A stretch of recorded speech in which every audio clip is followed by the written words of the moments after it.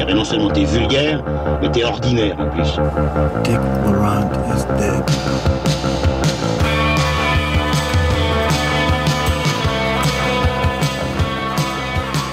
À toutes et à tous, chères auditrices et chers auditeurs, et bienvenue dans ce nouveau numéro de Transmission Actu, pour lequel je suis encore une fois bien entouré avec mes amis Lucien Alflans. Bonsoir Lucien. Salut Ulysse, salut Manu. Salut les gars. Et donc Manuelas et moi-même, Olivier Grinard, pour vous servir. Et aujourd'hui, nous allons parler de trois films qui sont euh, plus ou moins masso meilleur euh, dans l'actu. Euh, alors, il y a Sissou, qui est le film finlandais de euh, Jalmari Elander, qui euh, sort en France ces jours-ci. Et qu'on a pu voir en scène spéciale cette année au BIF. Il y a le film Prison 77 ou Modelo 77 euh, d'Alberto Rodriguez, le réalisateur de La Isla Minima, qui est lui disponible en VOD. Et enfin, on parlera de Misanthrope, euh, le film de Damien Chiffron, qui lui, par contre, est sorti en salle par chez nous et aussi en France. Et on l'espère que quand on sortira cette émission, il sera toujours visible dans quelques salles. Mais bon, en tout cas, c'est un film suffisamment important et marquant de ce début d'année, de fin de cette première moitié d'année, euh, pour que nous ayons très fortement envie d'en parler. Voilà, euh, nous ne parlerons pas de The Flash et nous sommes contents que euh, ce soit peut-être la fin de l'avènement des films des super-héros pour peut-être, comme tu le disais Manuel en off, l'avènement des films Nintendo. J'ai préparé un petit quiz pour ce début d'émission. Comme d'habitude, une bonne émission commence toujours par un bon quiz et donc on va lancer notre jingle. Je vous conseille d'être très prudent, ils m'obéissent au doigt et à l'œil. Et il me suffirait de claquer encore des doigts pour que demain vous soyez aspiré par une motocrotte sur le trottoir d'en face. Je ne saurais donc trop vous conseiller, ainsi qu'à votre tout-tout, de rentrer à la niche. Vous avez d'autres questions? Oui. Deux, très brèves. Primo, pourquoi est-ce que je perds mon temps avec un branquignol dans ton genre, alors que je pourrais faire des choses beaucoup plus risquées Comme ranger mes chaussettes, par exemple? Deuxio, comment comptes-tu claquer des doigts pour tes molosses une fois que je t'aurai bouffé les pouces des deux mains? Alors, en l'hommage du film Prison 77, euh, aujourd'hui un questionnaire spécial, bien sûr, film de prison. Première question, le premier qui dit haute sécurité, je lui donne la parole. Première question, citez-moi trois acteurs de la grande évasion qui ne sont pas Steve McQueen. Haute sécurité, Ok, Lucien, vas-y, lance-toi. Leonardo DiCaprio. Un, un, un, un, Ah. Leonardo, il compte, attends. Failure, failure, Euh, failure. Bronson. Oui. Ouais, ça fait tellement longtemps que je l'ai plus vu. Euh, Donald Plaisance. Bien sûr, Donald Pleasance, Donald, Donald Pleasance, Pleasance, Richard Attenborough. Richard Attenborough. Bon, bien, personne n'a de points. Je pensais quand même que. Je pensais que ça répondrait plus vite. Deuxième question, là, à mon Moi avis, aussi. ça va aller plus vite aussi. Dans quel superbe film des années 90 Kurtwood Smith tient-il une prison dans l'espace? Ha- Haute sécurité, attends. euh, Fortress? Exactement, Fortress, avec dans le rôle principal. Christophe Lambert. Voilà, excellente réponse, Lucien.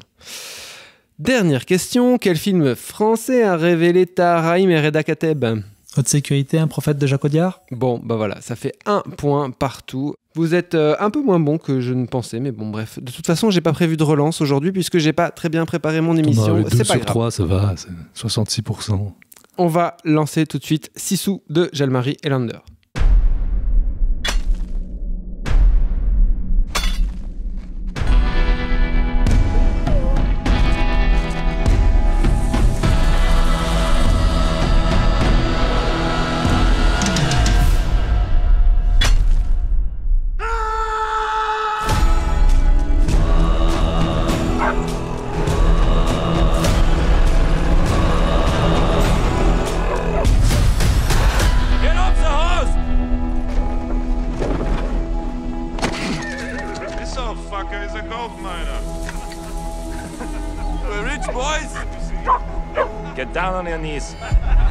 Fuck him up!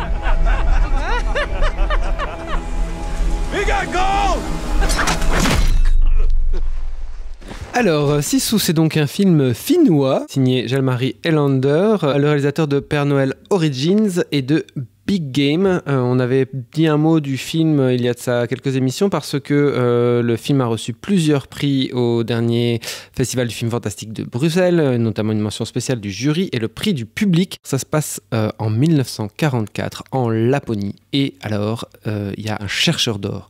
Il trouve de l'or, mais après, il croise des nazis. Et les nazis vont vouloir lui subtiliser son or. Et donc, ce monsieur va donc les exterminer les uns à la suite des autres. En gros, c'est ça le pitch. Notre chercheur d'or est incarné par l'acteur Jorma Tomila, qui était déjà dans les deux précédents films du réalisateur finlandais.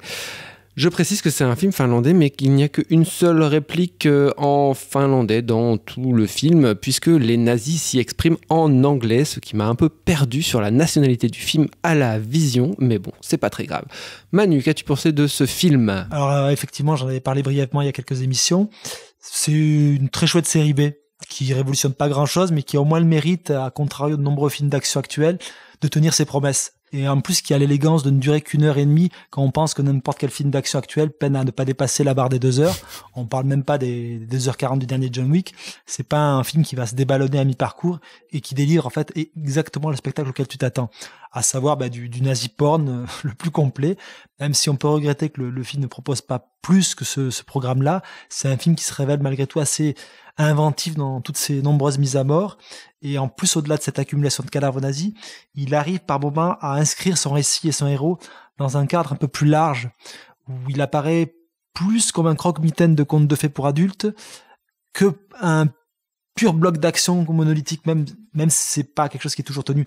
Après, euh, tout comme déjà dans Big Game, le film montre aussi les limites de Highlander dans le domaine de l'action pure et dure, hein, particulièrement dans les mano à mano, qui sont relativement assez brouillons. Et c'est plus dans, dans l'écriture, le tempo et le montage qui tirent son épingle du jeu.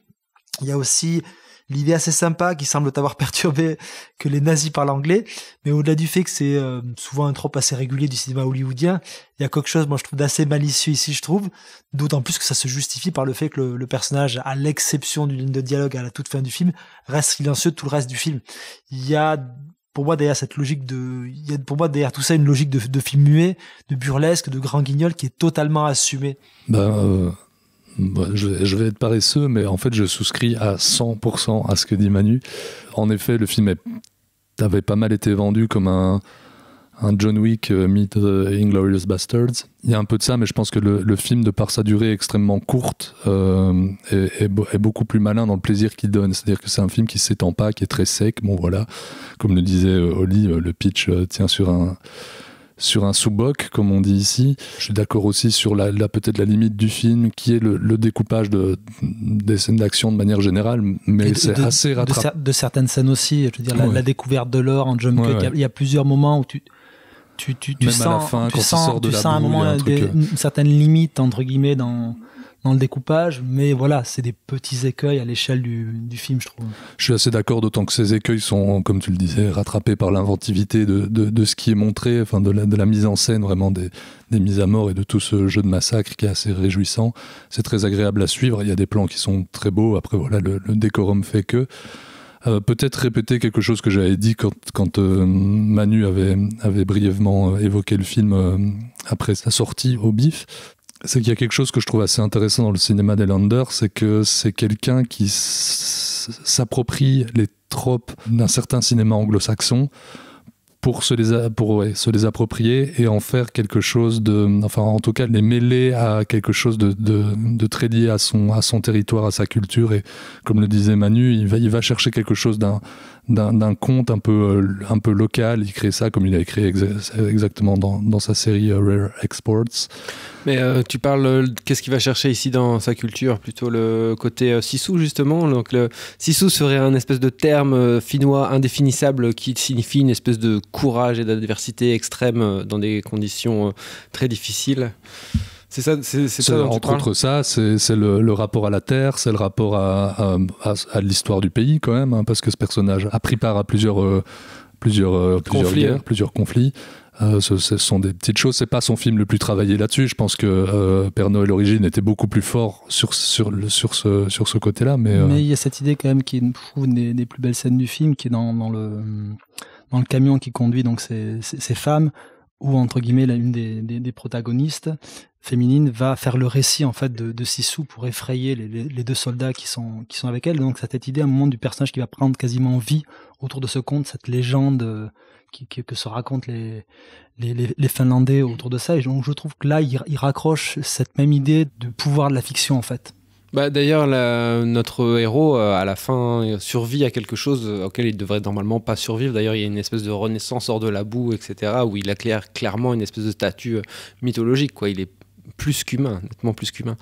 Euh, bah oui, je souscris aussi à ce que vous dites. C'est vraiment très agréable à suivre. C'est bien gore comme il faut. On n'est vraiment pas déçu euh, au niveau de la décharge d'hémoglobine euh, qu'on reçoit dans la gueule. Il tire vraiment bien parti de son décor qui pourtant euh, est assez enfin, désertique, c'est-à-dire c'est assez, c'est légèrement vallonné quoi. Et je pense à mon avis ils ont dû tourner ça en été parce qu'il y a vraiment toujours une espèce de lumière rasante tout le long du film. C'est assez beau et il multiplie un peu aussi des plans larges, assez iconiques pour euh, marquer l'avancée de son récit.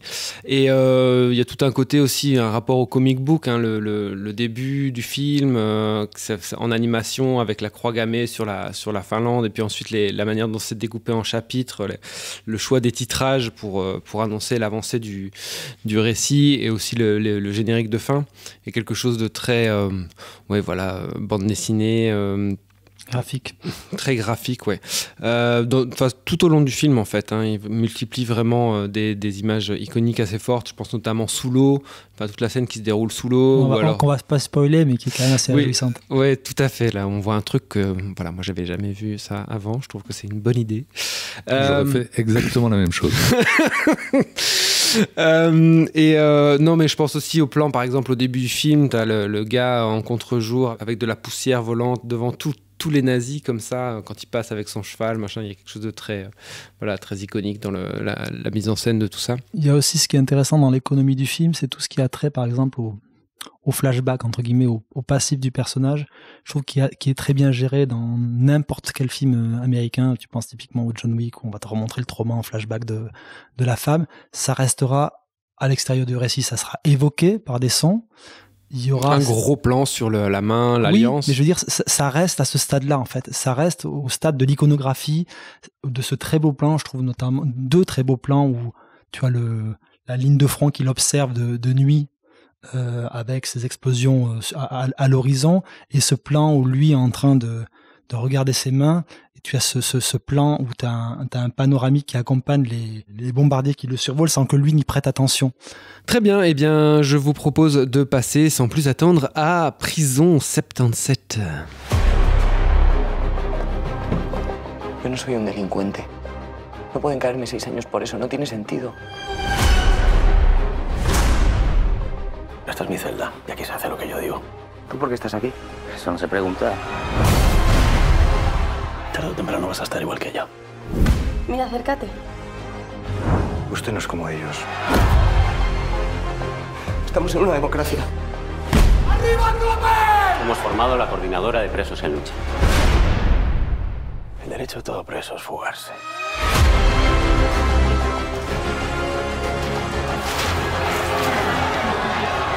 Quiero que me apuntes al sindicato ese. Quiero salir de aquí. ¿Qué quiere? Un motín.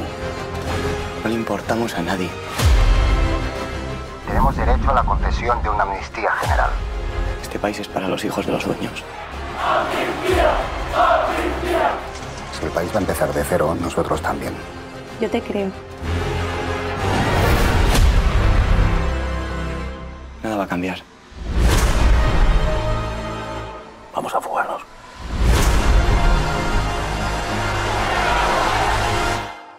Prison 77 ou donc Modelo 77, mais mon espagnol n'est pas assez bon pour savoir comment on dit 77 en espagnol.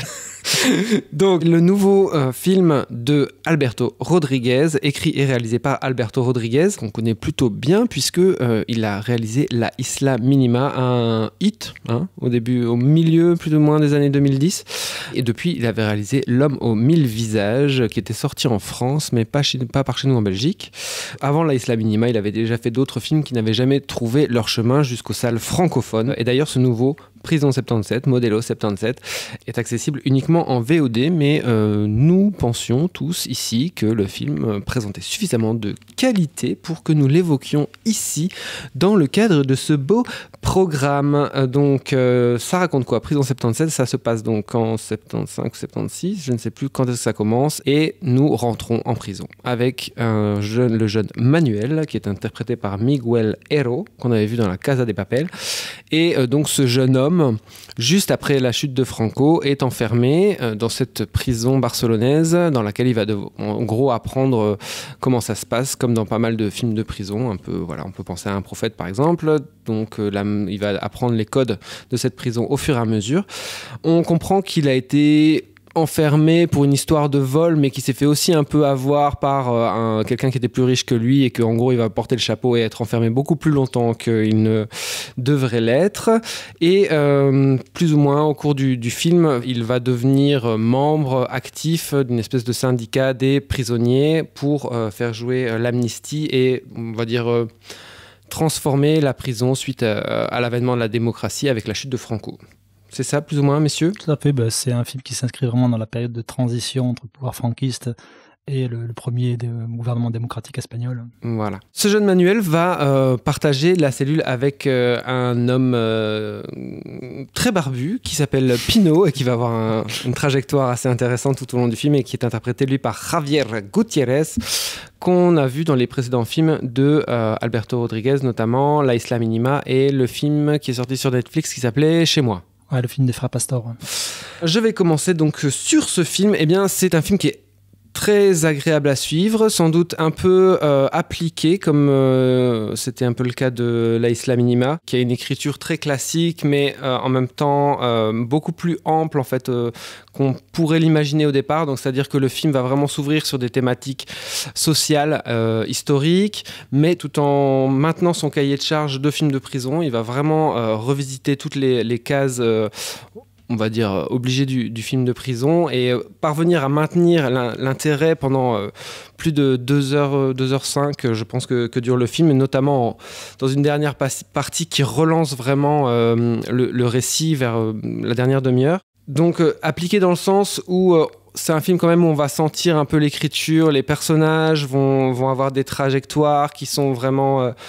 Voilà, Alberto Rodriguez n'est pas le mec, le, metteur en scène le plus fin, euh, le, plus fin du monde, et son écriture n'est pas non plus la, plus finote du monde. Voilà, par, exemple, ce personnage de, de Pino qui, euh, au début, est très rentré et qui va progressivement rentrer dans la lutte avec les autres détenus. Il se, pendant toute la première partie du film, il se barricade encore plus dans sa cellule, derrière une couverture, etc.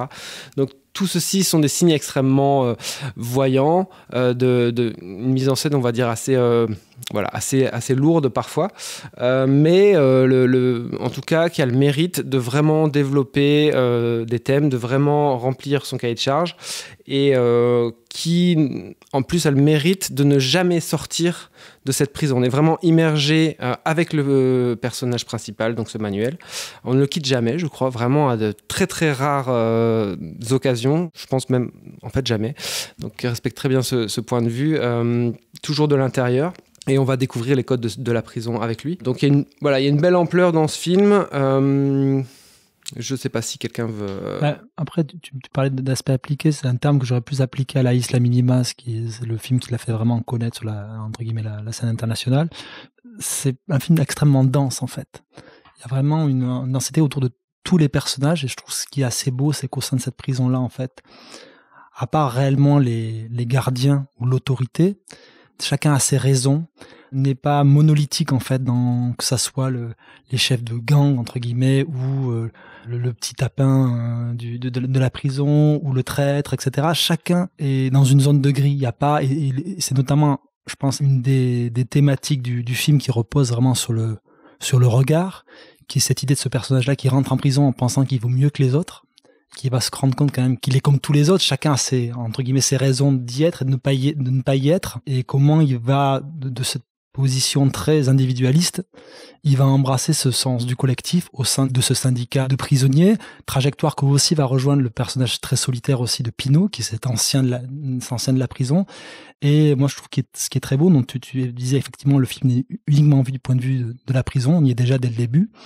On verra pas l'extérieur, on ne le verra entre guillemets que par le prisme des, des, murs quand ils montent sur les toits entre guillemets, c'est en, même temps que les personnages qu'on voit l'extérieur et le personnage principal ne va avoir une vision de l'extérieur de ce que, ce que de cette société qui se transforme mais où rien ne bouge chez entre guillemets chez eux au sein de la prison. Il, va avoir ce, ce récit-là par le point de vue de la de la sœur de sa petite amie qui va de qui va progressivement euh, avec qui il va progressivement nouer une relation et je trouve les, les scènes notamment de parloir sont extrêmement belles, reposent sur une idée de visuel très simple, mais euh, qui retourne complètement à la toute fin du film, où c'est euh, entre guillemets il y a une inversion du, du, rapport entre les deux personnages, où celui qui est derrière la vitre n'est plus le plus le même à la, à la fin, que je trouve une idée toute simple et, très belle, et toute cette idée qui est qui est filée tout au long du film autour du, regard, du cercle. Notamment, il s'empare ce, ce truc très visuel qui sert d'affiche à la au, film, qui est ce, cette fenêtre en arc de cercle pour en fait filer cette idée de, de regard, la manière dont on voit le monde à, et dont on se regarde soi-même et on regarde les autres. Et en fait, sa mise en scène est pas si lourde que ça. Je trouve qu'elle est plutôt assez euh, effacée en fait. Il n'y a pas de vraiment de, en termes de, de découpage, etc. C'est une mise en scène qui cherche pas du tout à se mettre en avant. Mais c'est-à-dire que son point de vue principal, c'est qu'il est toujours avec Manuel et toutes les scènes de parloir, que ce soit avec les avocats ou avec euh, la jeune fille, sont toujours d'un seul côté euh, des grilles et des barreaux. Après, le truc sur euh, les personnages, c'est vrai qu'il y en a beaucoup. C'est vrai qu'il y en a pas mal qui sont assez bien brossés, mais j'ai eu, euh, j'ai eu quand même euh, des fois cert voilà, euh, certains manques hein, quand même par rapport à certains personnages du, du film. Bah, pour, pour revenir juste vite sur la, sur la mise en scène, moi je suis assez d'accord avec Manu pour dire qu'elle est assez discrète dans sa fonctionnalité, je vais dire, mais qu'elle est visible dans, sa, dans, sa, dans son signifiant. quoi. Il y, a, il, y a, il y a quelque chose de ça. Je suis en fait, je suis un peu d'accord avec vous. On n'était pas vraiment en désaccord non plus. Non, ouais. Euh, bah oui, vous avez tout dit. Moi, ce que je trouve euh, malin dans le film, c'est cette manière d'observer une société euh, fractionnée se mouvoir depuis l'intérieur d'un habitacle qui est coupé de celle-ci, mais qui est pourtant, je veux dire, euh, tiraillé par des enjeux semblables, en fait, voire parfois identiques. Et le film joue beaucoup de cette symétrie. D'ailleurs, il y, a un plan au tout début du film où voilà, vraiment la, la, la, prison est centrale dans un bloc de quartier. Elle est extrêmement, c'est un bâtiment extrêmement symétrique qui, qui, en, qui étoile. Forme, en étoile exactement. Et là, je trouve que la mise en scène euh, intègre ça de manière euh, assez intelligente avec le rapport à l'extérieur, je veux dire, un travail sur le, sur le son, tous les sons qui viennent de l'extérieur, la lumière aussi qui renferme en fait l'espace clos de la prison par la lumière qui rentre par les vitres, qui est très marquée. On voit, on voit fort les, les, les, les rayons lumineux rentrer. Cette étincelle lumineuse, on ouais. voit jamais le bout entre Exactement. le personnage principal. Avec, avec une flèche en plus qui, qui, qui, rappelle un peu un exit. Quoi. Et puis même sur des, sur des trucs qui tiennent peut-être plus de l'écriture, mais euh, sur le, comment on s'informe sur l'extérieur à travers des coupures de presse qu'on glisse dans, dans les parloirs, euh, le bavardage comme ça qui se déforme, etc. Non, je, trouve, je trouve le film assez intelligent dans sa manière de mettre tout ça en place. Bah en termes de petits euh, comment dire petit truc euh, passage obligé de la prison justement comment on s'observe d'une cellule à l'autre ou les passages de, de coupure de presse en effet comme ça tout ça c'est très généreux en fait il y en a énormément tous ces petits trucs qui font tout le sel des films de prison et vraiment voilà on en a vraiment euh, c'est très vrai. Et puis, euh, ce qui m'a aussi intéressé, mais ça va à nouveau dans la lignée de ce que vous disiez, même de ce que je disais plus tôt, mais c'est aussi cette, de, de, de montrer le, la trajectoire de, de, personnages qui vont vers la révolte en fait qui vont vers le enfin il y a vraiment un truc de bah, quand les voies légales sont euh, sont bafouées obstruées ou je, je sais pas euh, comment on peut dire bah, il ne leur reste qu'une forme d'illégalité ou en tout cas de de, de, de, révolte ouais. Ça me fait penser une, une phrase de, de Léon sur euh, sur Fistful of Dynamite, Dynamite, Dynamite, comment on dit Dynamite en anglais dis, euh, il était une fois la révolution. Il était une fois la révolution. euh, laquelle il disait, euh, je, je, cite euh, de, de, mémoire, quand j'étais jeune, je croyais au cinéma, au marxisme et à la dynamite. Aujourd'hui, je crois plus qu'à la dynamite. Bah ouais, il y a une scène très, très forte avec ça quand euh, Manuel va vraiment commencer à rejoindre le mouvement des syndicalistes et qu'il y a ce, ce, ce geste de, de, se couper soi-même. Là, c'est très cette scène-là, elle est vraiment très très réussie, je trouve, de, de, manière symbolique. Ce geste de se couper devant devant les, les policiers bah, fonctionne extrêmement bien, quoi. Il y a une idée aussi assez géniale, c'est le moment de le, la punition de, de Pinot ou entre guillemets quand Pinot a rejoint entre guillemets le groupe et donc les gardiens pour le, le punir s'emparent de ses livres pour les brûler et il reste un, il reste un, une barrette de shit à l'intérieur dedans et toute la prison finit défoncée quoi. Après moi j'étais un peu euh, je trouve que le l'acteur principal donc c'est ce Je suis d'accord avec toi. Miguel Hero mais pas euh, et pas dingue. Ouais. Parfois, je trouve qu'il manque un peu euh, d'ampleur. Il est un peu euh, trop sur une note ou sur l'autre. Quoi. Je trouve qu'il est très sur une même note pendant toute la première partie du film. Et à partir du moment où il, il, il va passer un peu du côté obscur, enfin d'un côté un peu plus obscur, il est sur une autre note. Mais Ouais, je trouve que dans, dans cette deuxième note, il perd un peu en crédibilité. Moi, j'y crois pas trop. Je crois plus au. à- J'y crois plus en jeune idéaliste. Enfin, idéaliste, je sais pas si on peut dire ça, mais en, en, en- en sang frais dans la prison que quand il devient un peu euh, patron, là, enfin patron, quand il mène un peu quelque chose, j'y crois beaucoup moins. Et puis alors moi, je le trouve vraiment gênant dans les scènes euh, à chaque fois qu'il y a sa meuf. euh, où il la regarde comme ça avec les yeux écarquillés, la bouche entrouverte, ça va. non, peux- moi je trouve ces scènes assez, l'idée, moi mais- je trouve ces scènes assez bien écrites. Moi je trouve que là Non, où non, ça, les scènes sont bien, je là, trouve, là où lui, ça euh, pêche, c'est pour le coup dans le binôme avec euh, Javier Guterres qui est un tout, à- Ah un ouais. tout autre niveau et je trouve que ça, là pour le coup ça, ça se sent même s'il y a une logique de d'aînés et de, de jeunes Ouais, et d'aînés mais malgré tout il se hisse jamais au niveau de, de Pinot quoi, en fait Pinot simple tolard. simple flic Après Léon, euh, citons, euh, je sais pas, Claude Zidi ou. Gérard Jugnot. ah ouais, c'était un film de Junio lui-même. Je n'aurais pas pensé finir cette euh, conversation euh, en évoquant euh, ce succès des années 80 bien franco-gaulois. parfaitement étonnants. Et nous allons tout de suite enchaîner avec le film de Damian Schifron, euh, Misanthrope, To Catch a Killer.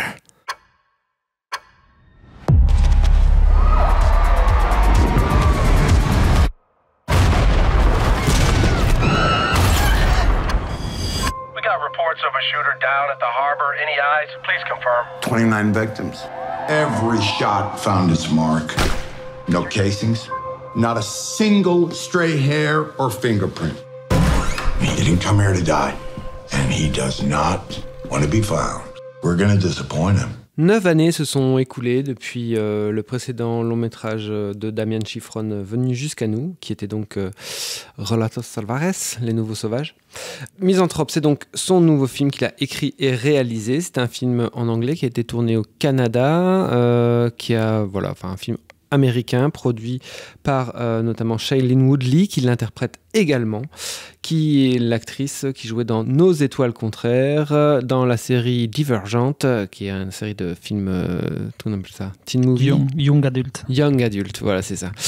Euh, et qui a, produit ce film. Ça se passe de nos jours à Baltimore. Il y a euh, un tueur de masse, un sniper, qui va abattre plusieurs personnes qui sont sur des toits et qui fête le nouvel an. Et donc, euh, une jeune fliquette se retrouve un petit peu sur, certains lieux des événements. Et un agent du FBI, qui est interprété par Ben Mendelsohn, qu'on a vu notamment dans Ready Player One, euh, va euh, demander à cette jeune fliquette de le comment dire de l'épauler euh, dans l'enquête voilà sur ce tueur de masse qui va d'ailleurs reproduire plusieurs attaques. Et parallèlement enfin tout au long de, de l'intrigue donc qui est donc la recherche la chasse de ce tueur on va s'apercevoir progressivement de plusieurs parallèles possibles entre le tueur et notre jeune héroïne dont j'ai oublié le nom dans le Falco. film. Falco. Éléonore Falco Eleonore Falco. Très bien, Lucien, qu'as-tu pensé de ce film donc du réalisateur argentin? On l'a dit, Damien Chiffron, connu pour Les Nouveaux Sauvages, mais euh, qui apparemment avait signé d'autres films avant en Argentine. Bah, euh, moi j'ai trouvé le film euh, passionnant euh, pour plein de raisons et on va on va les énumérer. On va on va on va on va passer dessus. Vas-y, prends-en une et développe. Non, bah, peut-être euh, le, le- le premier truc qui est peut-être le plus général. euh, moi, j'aime beaucoup la manière dont le film part d'une intrigue qui va, euh, disons, des problèmes institutionnels de la police, en étant très documenté aussi sur les méthodes, etc. Bon, Il y a des choses d'un point de vue, par, par exemple, purement visuel que j'avais jamais vu avant sur comment bossent des flics, en fait. Euh, mais aussi euh, vraiment dans, comment c'est géré, je vais dire, d'un point de vue intellectuel par ces enquêteurs, qui sont en fait des gens qui réfléchissent autour de meurtres, enfin de, crimes de manière générale.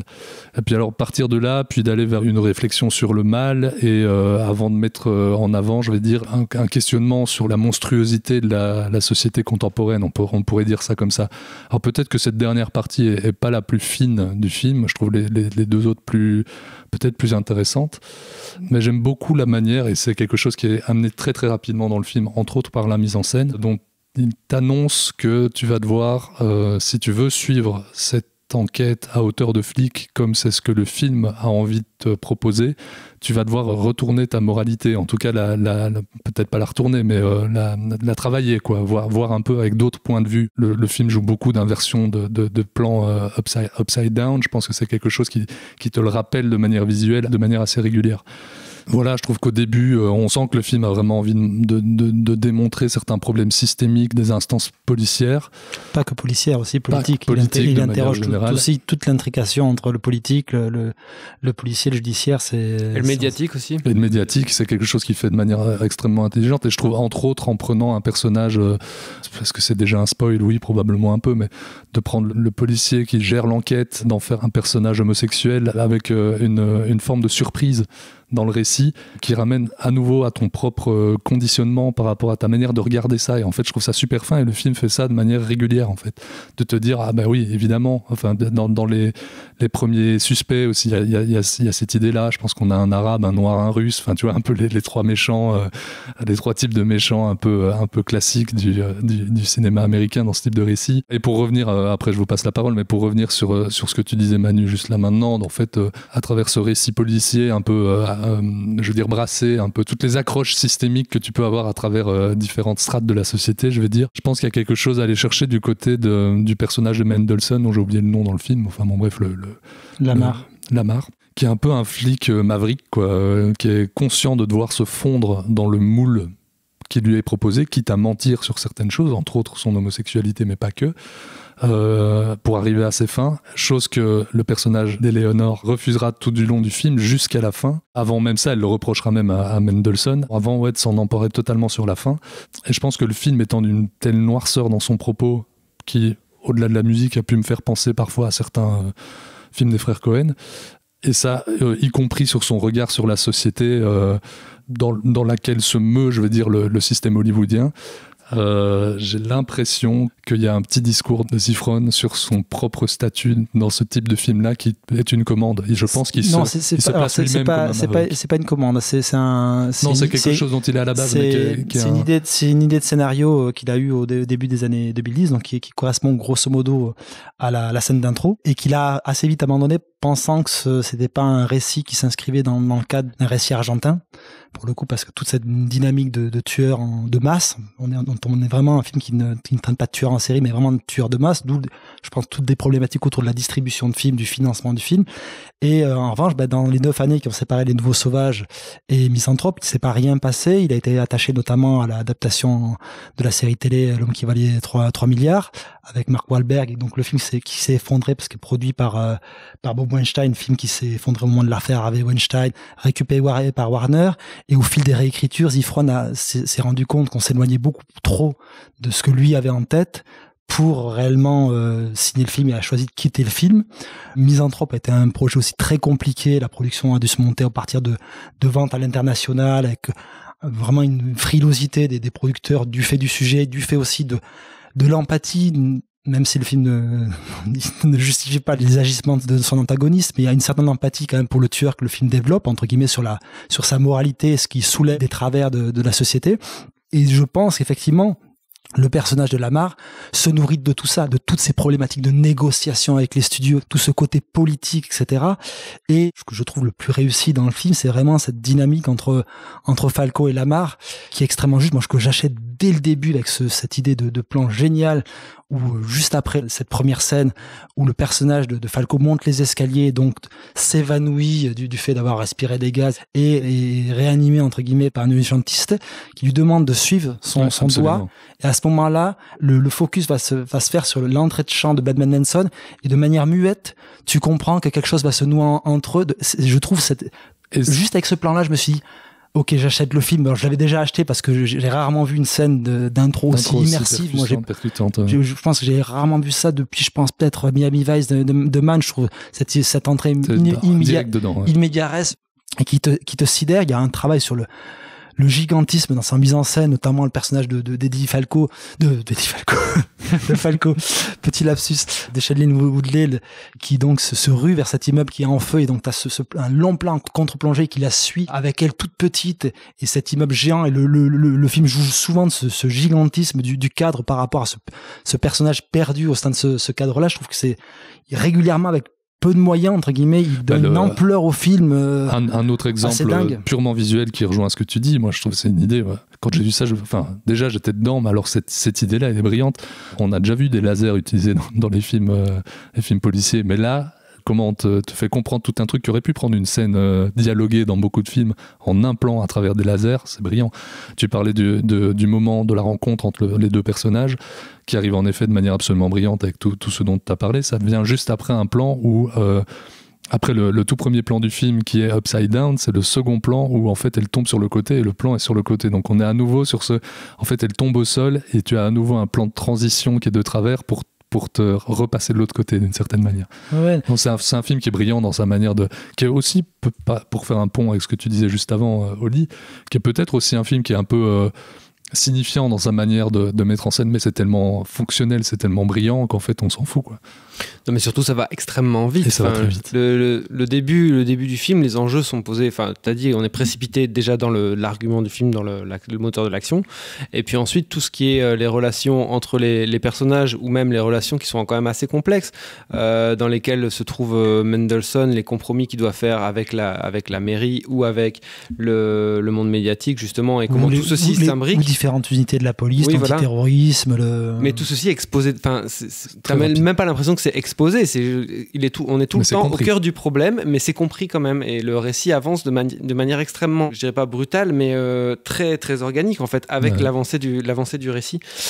Le, le seul Enfin, les, les, seuls moments un peu de relâchement sont les moments que tu as juste avec le personnage féminin de euh, Shailene Woodley qui euh, essaye de construire un peu euh, sa psyché euh, voilà, régulièrement. Pas ce qui est le plus réussi dans le film, je trouve. Je suis d'accord avec ça, c'est pas ce qui est le plus réussi dans le film. Après, est-ce que le film aurait, aurait fonctionné? Est-ce que le, justement le, le, le, pas de deux qu'elle que, qu va mener avec le, le, tueur aurait aussi bien fonctionné bah, si tu les oui, avais pas je pense parce qu'en fait, comme tu dis, le film va très vite. Ça t'est ça t'est pas expliqué, mais ça t'est posé dès le départ ce côté. C'est pour ça que Mendelssohn l'a choisi, c'est parce qu'il sent c'est un feeling quoi. Il sent quelque chose chez elle qui va être capable de, de se rapprocher de ce personnage là euh, moi j'aime par exemple il y a de nombreuses scènes où elle, elle nage. Je les trouve intéressantes c'est quelque deux, chose il n'y en a pas de nombreux oh, bon, il y en a, bah, que deux je pense. Il y, a, hmm. il y, a, justement une une où entre guillemets il joue encore ce rapport d'inversion ouais, entre guillemets la, la, la, la, entre guillemets on inverse le, le, le sens dans la piscine mais il y en a, il y en a que deux qui, qui correspond à une bascule entre guillemets du personnage avec une confrontation qu'elle a avec la, la mare juste après justement le, le, dîner. Mais qui est de toute manière un trope de cinéma policier qu'on voit souvent le, le flic qui se sort quelques secondes ou la fliquette comme tu disais qui se sort euh, un instant de son de son Ça professionnalisme le plan océanique manien? C'est un plan assez ça pourrait être un plan assez manien euh, maintenant moi ce que j'achète moins c'est les moments où on met très en avant ses traumas quoi. C'est le, le, moment où elle rentre chez elle elle ouvre son tiroir il y a une seringue enfin tu vois ouais, les moments où elle est dans son bain. Si qui garde le matos ouais, chez ça. elle ouais, d'abord j'y crois moyen alors que je trouve le film est très crédible sur tout euh, tous ces personnages euh, entre autres d'un suspect qui va devenir euh, qui va finir par donner des informations etc qui est un personnage qui existe très très rapidement alors qu'en fait il part de rien. C'est le propre du cinéma vous allez me dire mais bon voilà afin de la narration. Voilà il y, a aussi cette scène où elle est dans son bain où, qui est à nouveau extrêmement maligne parce qu'on comprend directement à quoi elle pense en regardant son plafond euh, qui, dont la peinture s'écaille ok la peinture donc tac tac tac elle va, elle va donc c'est à nouveau de la mise en scène extrêmement maligne. Par contre la scène en tant que telle de l'avoir euh, ça ne sert qu'à ça quoi. Euh, le, le côté oui, euh... oui non parce qu'entre guillemets ce personnage a euh, là où le, le personnage de, de l'antagoniste du tueur extériorise on va dire son rapport au monde en tuant ce, ce bruit incessant elle, elle, moi, elle, elle l'intériorise elle se détruit elle-même.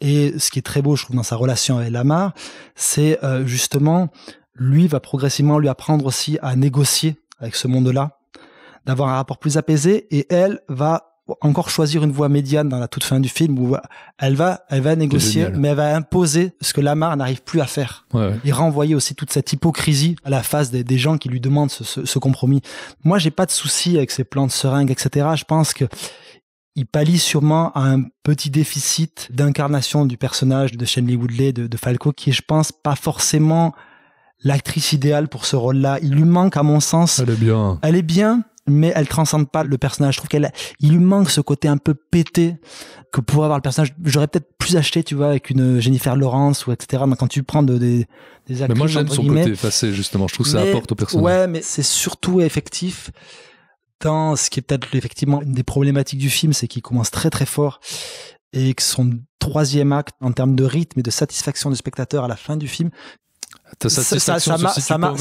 ça- marque un peu le pas. Et, et bon, après, c'est des, des, c'est des choses totalement internes à la production du film. Le, le- le film n'était pas du tout prévu comme ça. Il était prévu justement de se finir sur une grosse scène d'action, mais du fait que c'est un film qui s'est tourné de manière encore plus ramassée, qui s'est tourné en six semaines comparé aux huit semaines de tournage des Nouveaux Sauvages. C'est un film qui était vraiment extrêmement compliqué à, tourner. Et donc il y a eu il y a eu aussi des, remaniements forcés entre guillemets de de l'intrigue. Et je pense que ça empathie un petit peu. Ça fonctionne très bien thématiquement. Mais en termes de ce que tu en ce que tu en retires juste à la au moment du générique de fin je pense que ça joue un petit peu sur la perception du film Je sais pas, parce que le film est tellement euh, intense dans ce qu'il te raconte et tellement. Enfin, moi, moi, je suis sorti du film, euh, ça, t'impacte émotionnellement, quoi. Donc. euh, Tu veux je dire pense- que t'es sorti déprimé? Oui, exactement. non, mais vraiment, je pense que tu perds peut-être en effet, t'as pas le, le, le, Le kick du début. Le kick du début, tu l'as plus sur la fin, mais par contre, t'as autre chose, quoi. T'as de la matière quand même à travailler. Tu, moi, je suis pas sorti du film avec une quelconque forme de, de, De déception. de déception.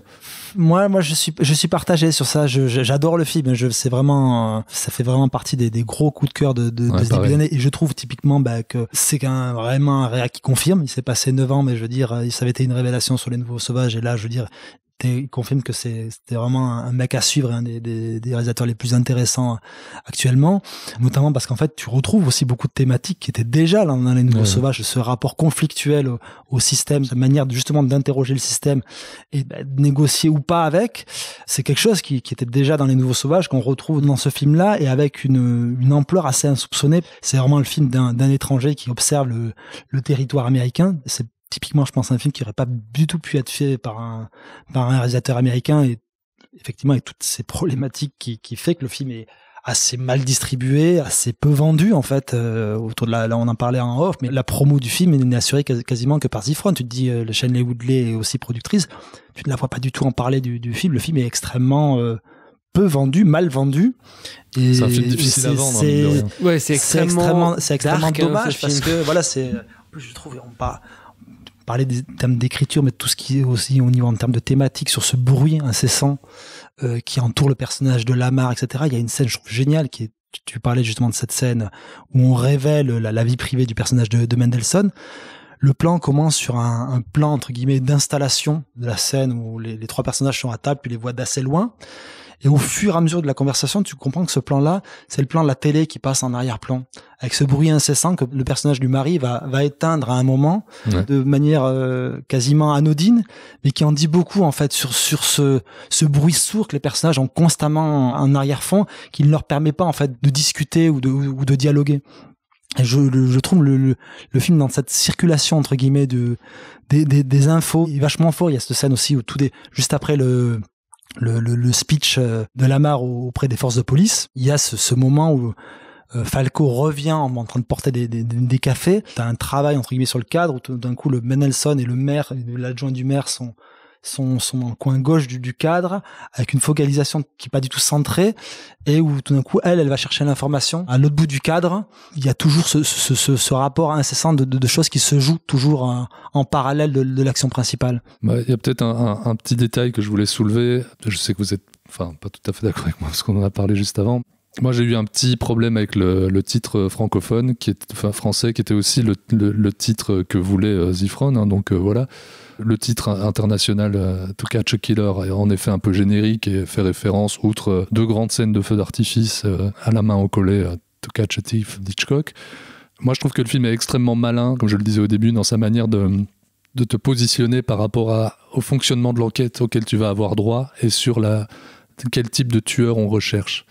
Et en fait, de nommer le film en français Misanthrope, moi, m'a peut-être frustré d'une surprise qui aurait été encore plus forte Je- au moment de la découverte Ah, du, je pense du pas que tueur. tu- je pense pas que c'est une surprise vis-à-vis de ça parce Il y que a quand même une. c'est- il brouille quand même les pistes régulièrement et en fait le titre te débrouille un peu les pistes d'une certaine manière. Non, parce que pour Mais moi, après, il y a, détail, quand même, y a- y quand même quelque chose qui est instauré dès le début pour te dire que tu vas pas être face au, au film générique de tueur en série, hein, pour le coup tueur de masse, avec le speech introductif de Mendelssohn Oui, auprès des- justement, des, c'est ça qui est des- génial, des forces ce de police speech- où cha- chaque est posé ce, ce- ce rapport de, de en miroir que dresse tout au long du film, il est déjà dans ce speech introductif est absolument brillant. C'est Et brillant, est génial dans, dans, dans façon, tout, tout, tout du long du film. Je trouve que pour le coup, on parlait de, de rapport entre les personnages. Je trouve Ouais, que je je elle peine quand même à se mettre au niveau de Mendelssohn, même si ça joue, c'est encore joue dans, dans le dans- rela- dans la relation. Mais quand je parlais de, de petits déficits d'incarnation, c'est parce que Mendelssohn bouffe l'écran, quoi.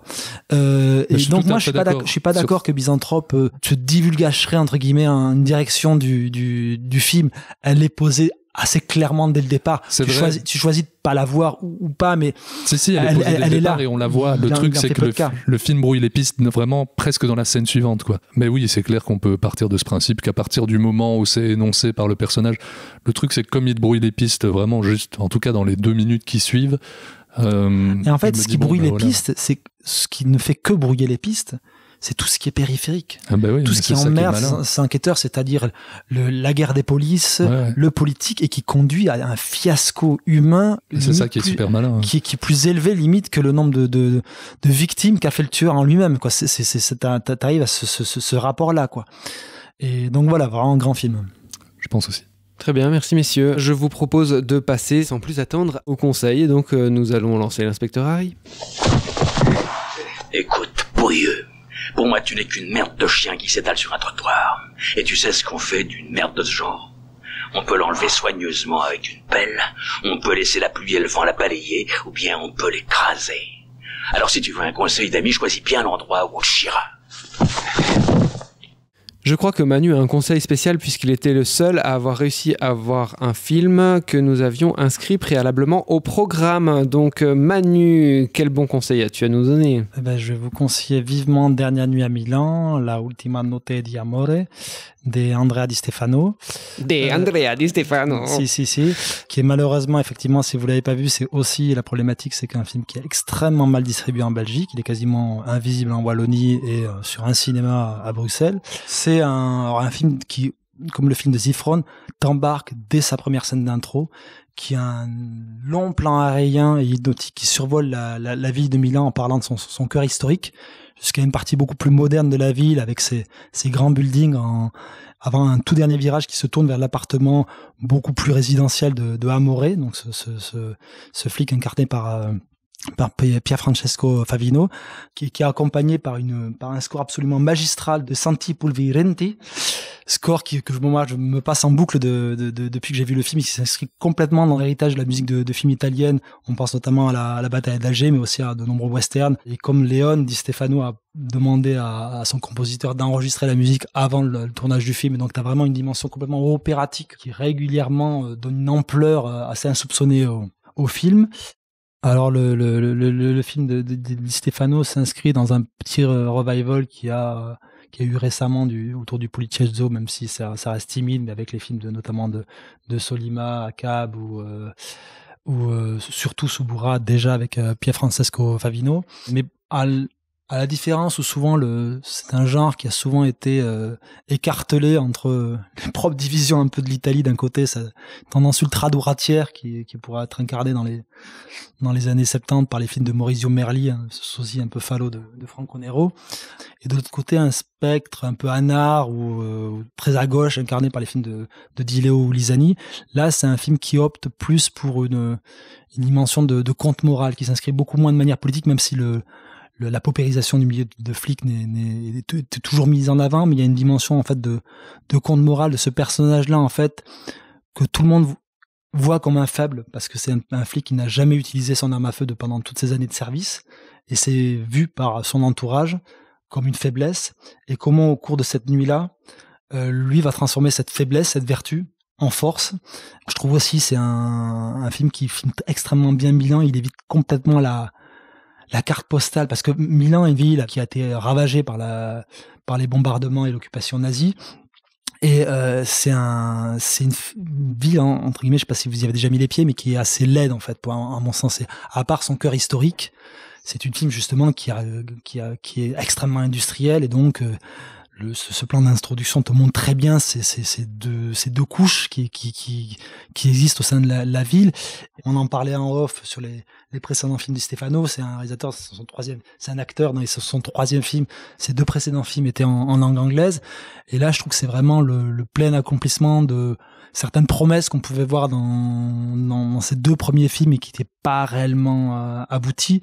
Là, je trouve qu'il embrasse complètement tout un héritage du cinéma italien et qui se démarre par justement par cette singularité de récit quasiment à la première personne autour d'un d'un flic assez indéfinissable. C'est c'est un personnage qui est vendu dans la balance comme un flic entre guillemets euh, un incorruptible, ce qui n'est pas réellement le cas.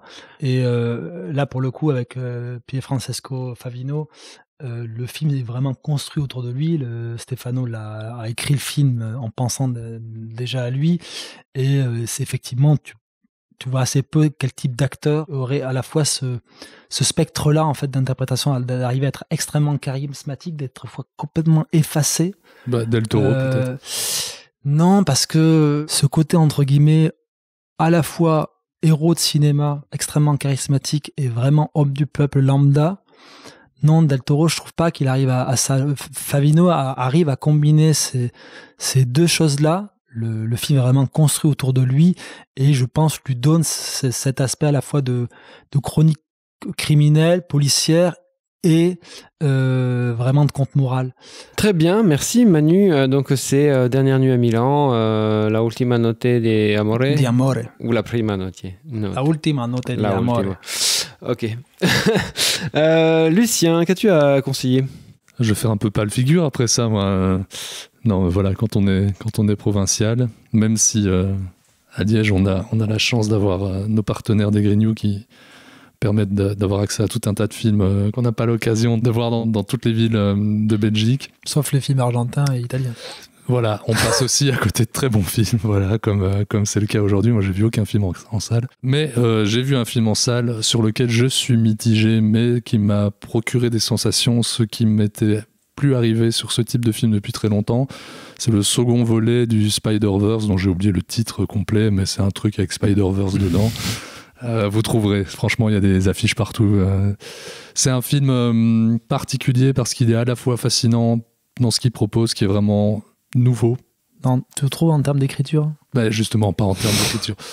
nouveau dans ce qu'il propose, en tout cas visuellement, même dans sa mise en scène. C'est vrai, il y a des vrais moments de cinéma, il y a des moments que je trouve littéralement sublimes avec une utilisation de l'aquarelle, un travail de mise en scène autour de la couleur qui raconte quelque chose sur l'intériorité des personnages, sur leurs relations. C'est vraiment très intéressant à ce niveau-là.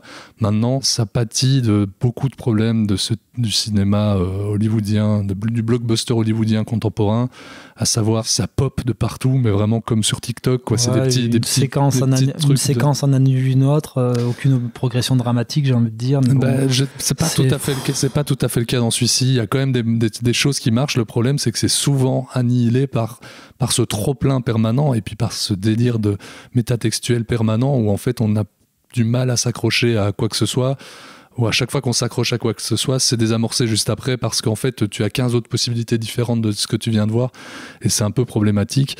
J'aurais vraiment rêvé voir un film Spider-Man avec ces techniques-là, avec ce travail visuel-là, avec certaines de ces idées de mise en scène qui sont vraiment extrêmement inventives, mais plus posées, avec moins de, avec euh, simplement moins chargé, simplement que ce soit visuellement ou euh, narrativement plus simple en fait.